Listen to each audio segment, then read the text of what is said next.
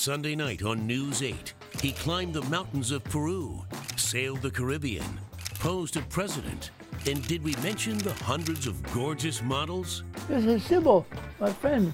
News 8's Kevin Doran introduces you to a Kodak legend paid to travel the world. I couldn't have asked for a better job. And see how a happy accident with slides led to a whole new form of art. Sunday night after CSI, only on News 8, the team you can trust. Now, we want you to meet Neil Montanus. You have seen his pictures, and tonight you'll meet the legendary Kodak photographer. Montanus has done it all, or at least thought he had, until a recent discovery, which he is sharing with us only on 8.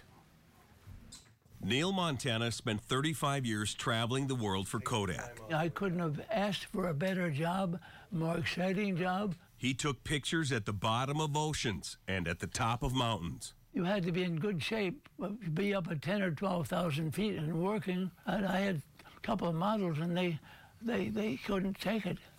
They had to go back down. Walt Disney liked his portrait so much, he used that sketch pad to draw Neil a Mickey Mouse, and he signed it. So I got that beautiful picture, but I can't lay my hands on it right now. It's kind of lost. President Ford asked Neil to come to the White House. When he came in, I, my knees were actually trembling. Uh, President of the United States in the Oval Office. oh my God. And there were hundreds of models, like Cybill Shepherd. Was she a nice young lady to work with? Oh, she was beautiful, and she was very cooperative. At the end of his trips, Neil always came home to Greece. His house is a museum, a history of his life's work.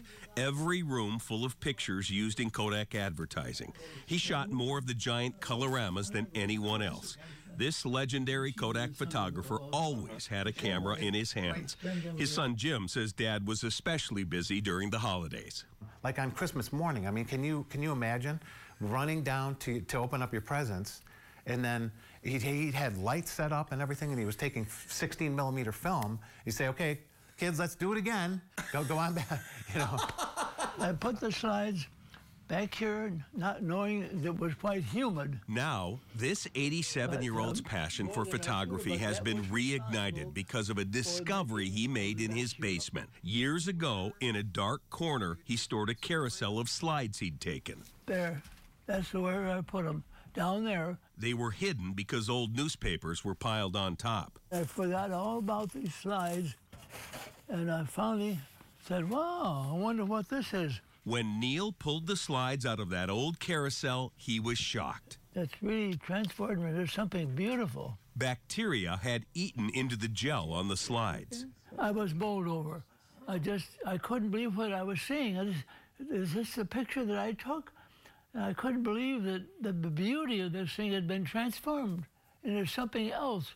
I could feel his excitement. I mean, he was really, really, really excited about the bacteria prints. Montanus calls them bacteria photographs. Nothing like this has been seen before.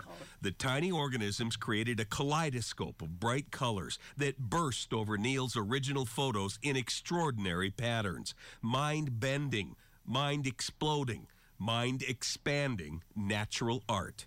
Well, it gives me a high, for one thing. And when I saw these bacteria pictures, that was like the best thing that ever happened to me. I couldn't believe that I had these pictures in my possession. Neil has had one show already and hopes to show his bacteria photos to even more people. It was so wonderful, I just can't stop talking about it. So it turns out Neil Montanus didn't have to travel the world to find perfect pictures.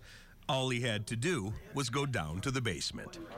And you can see more of Neil Montanus' work by going to rochesterhomepage.net. Just click on news and look for this story.